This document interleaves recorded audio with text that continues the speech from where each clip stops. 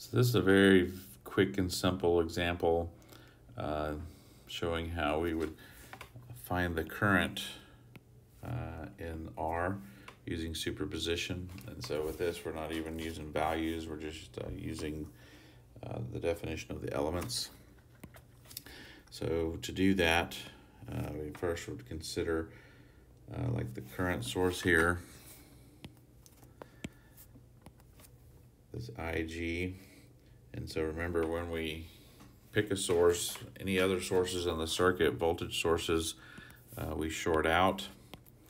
And so this uh, voltage source here, then we're going to short that out.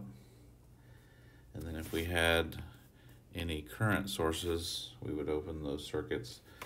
So here we short that out.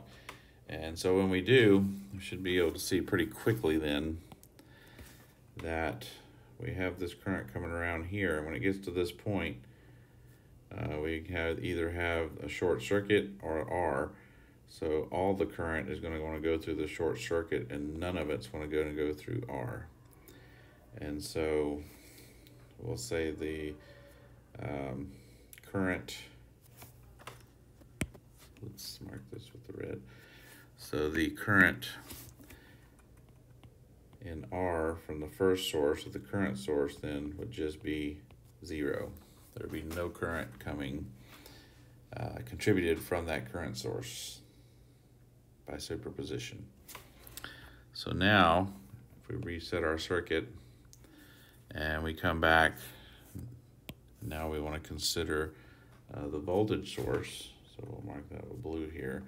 And so that means then that we would uh, remember when we do superposition, we short out voltage sources, but then we open circuit uh, any current sources. So then what that means is um, it'd be as if this current source was not even here.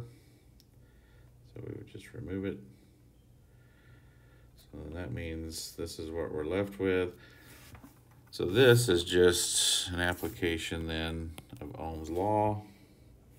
So now the current flowing through here we'll call it IR2, which is going to be Ohm's law, which is V over R. So in this case, it's going to be E over R. So now we have both sources, both, source contributions uh, considered here. So now uh, IR, which is the total, is going to be IR1 plus IR2. So that's going to be 0 plus E over R. So then it's just E over R.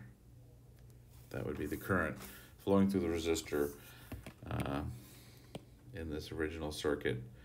And we found that using superposition.